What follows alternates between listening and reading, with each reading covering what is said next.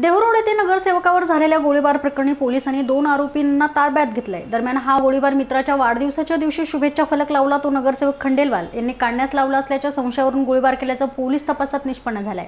या घटनेप्रकरणी साबीर समीर शेख आणि साईतेज उर्फ जॉनी शिवा चिंतामल्ला या दोघांना देहरोड पोलिसांनी वेड्या ठोकल्यात.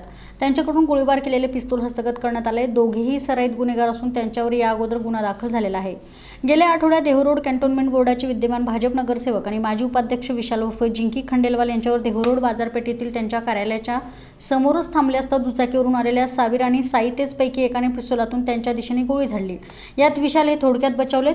या प्रकरणी देहरोड पोलीस आरोपींचा शोध घेत होते. आरोपींच्या मित्रांचा काही दिवसांपूर्वी वाढदिवस होता तेव्हा या दोघांनी शुभेच्छा फलक लावला. ते फलक काही तासांनी काढले गेले परंतु ते फलक नगरसेवक खंडेलवाल यांनी काढल्याचा संशय आरोपी नव्हता. तसेच मित्र आणि भाऊ यांच्यावर दाखल असलेल्या गुन्ह्यांमध्ये खंडेलवाल यांनी पुढाकार घेऊन गुन्हा दाखल करण्यास मदत केल्याचा आणि देहरोड बाजारपेठ बंद ठेवल्याचा राग दोन्ही आरोपींच्या मनात होता. याचमुळे दोघांनी खंडेलवाल यांना ठार करण्याचा कट रचला. अचूक निशाणा न साधल्याने नगरसेवक बचावलेत.